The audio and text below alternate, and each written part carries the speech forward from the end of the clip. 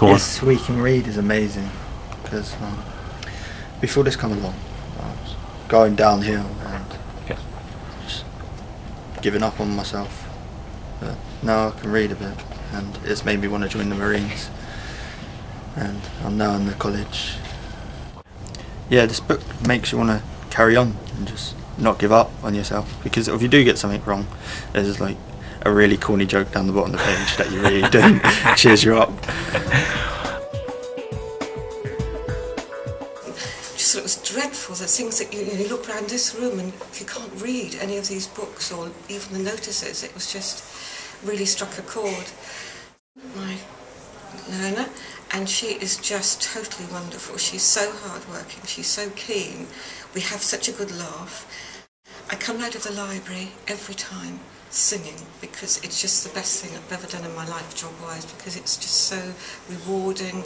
I feel that I'm I'm giving something really a treasure, if you like.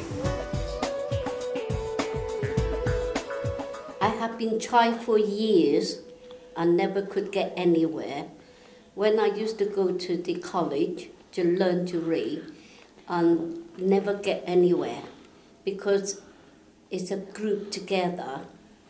So I only pick up a few words. I quite surprise myself sometimes. There's a word I say, oh, I read that word.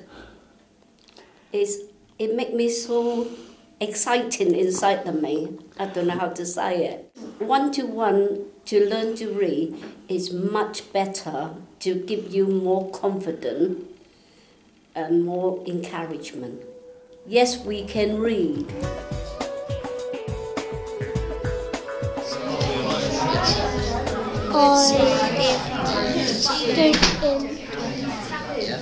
I don't in the sloppy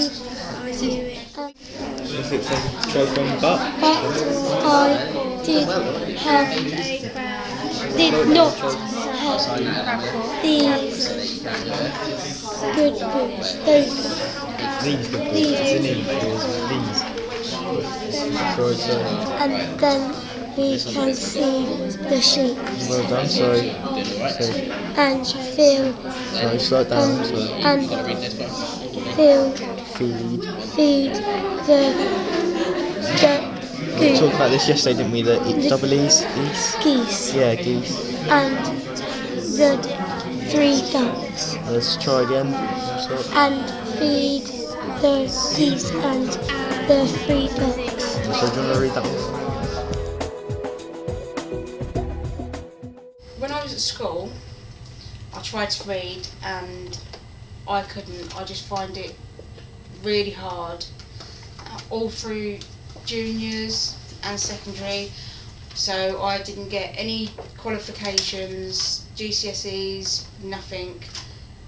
And now I know how to read, and now I'm teaching my son, my niece, and my cousins how to read and I really enjoy it. This is my kitten.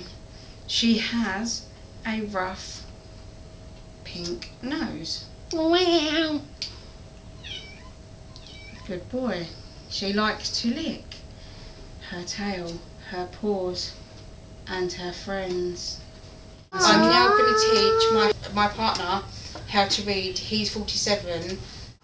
My dad learned how to read at a late age, which helped him with his 12 steps at NA, which is really good because you need to learn how to read to actually get through them 12 steps because there is really long words in there that are very hard to read. So that's really, really good.